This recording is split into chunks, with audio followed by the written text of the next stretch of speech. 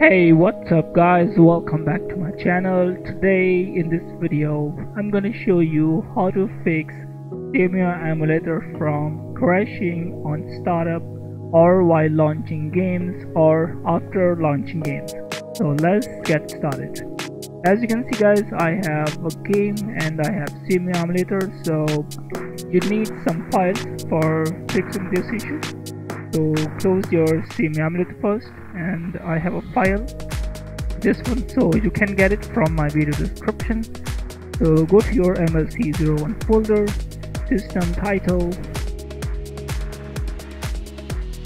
Go back and over here.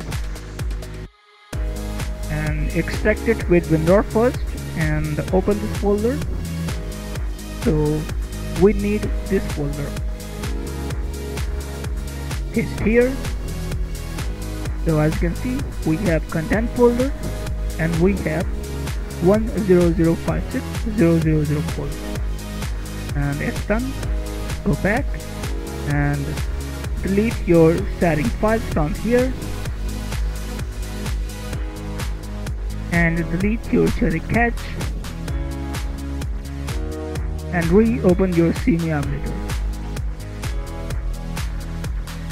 and next close it and go to options general settings and select your MLC path.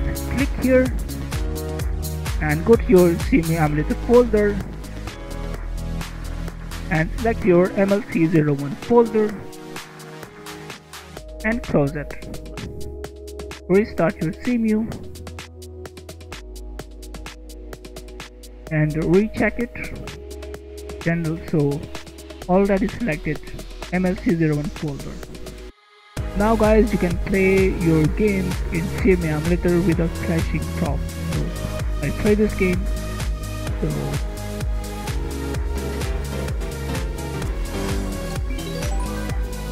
So as you can see, game is working and one more important thing guys, you can select Vulkan from here and general settings and graphics sometimes OpenGL doesn't work then you can select the Vulkan from here and select from here this one.